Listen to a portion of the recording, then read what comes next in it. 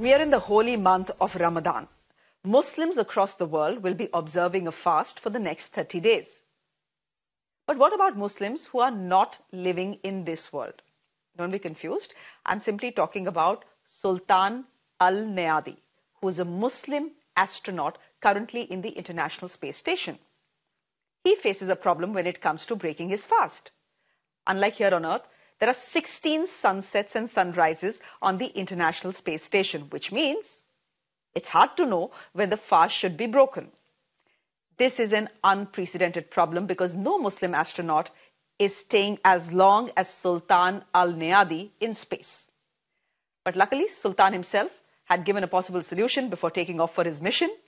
Our next report is telling you what that solution is. We leave it there. Thanks for watching. Good night.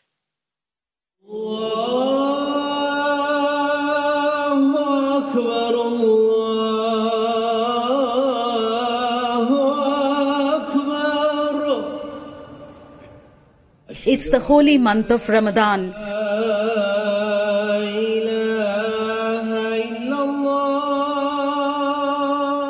Muslims around the world will be fasting for the next 30 days.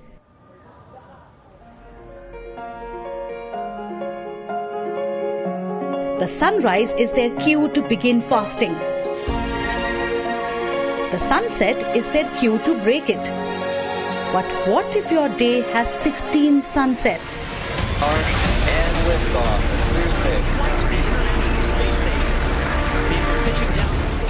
That's the dilemma facing Sultan Al Neyadi. He's an astronaut from the UAE and his current address is the International Space Station. Al Neyadi is part of a SpaceX mission that launched earlier this month. He will stay on board the ISS for six months, becoming the first Arab person to do so. Safe to say, the pressure and expectations are huge. This is the essence of uh, space exploration. The UAE is taking uh, great steps towards uh, pushing the boundaries of exploration. Sultan Al Neyadi. Less than a dozen Muslim astronauts have been to space. Even fewer have stayed longer than a month. So, Al Neyadi faced a tricky question during the month of Ramadan. Does he fast or not? The ISS is hurtling around the Earth at more than 27,000 kilometers per hour. Its speed and orbit gives astronauts 16 sunrises and sunsets in 24 hours. So starting and ending the fast becomes tricky. In January, Al Neyadi was asked about his plans for Ramadan.